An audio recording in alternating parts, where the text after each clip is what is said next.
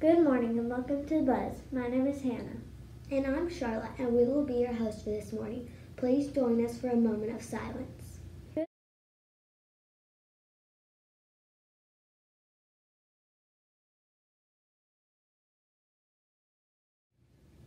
Please stand for the pledge to the flag.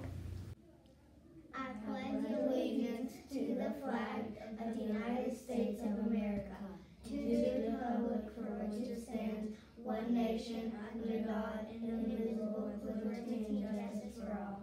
And now for our student friendly, friendly mission statement. At RGS, we are learners today and leaders tomorrow. Today is Friday, January 29th, and we're on a day one rotation. For lunch today, we will be having pizza, salad, and cookies.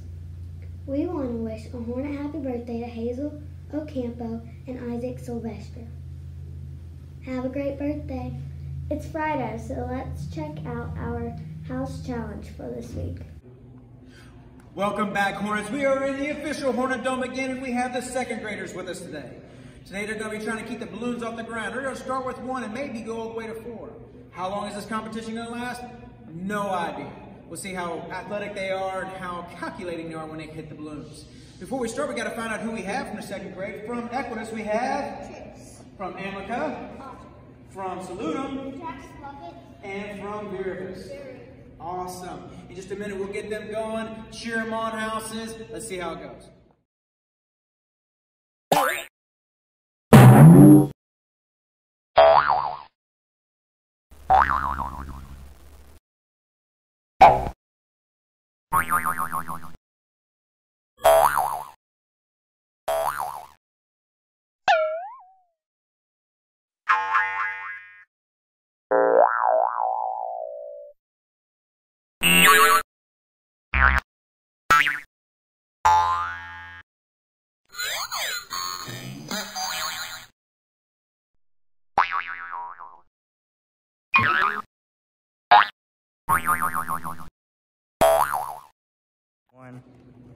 All right, well that was fun. And I tell you what, I was hoping to see the third or fourth balloon come in and have some real chaos, but that really threw them for a loop. When all came down to the end, it was two seconds difference.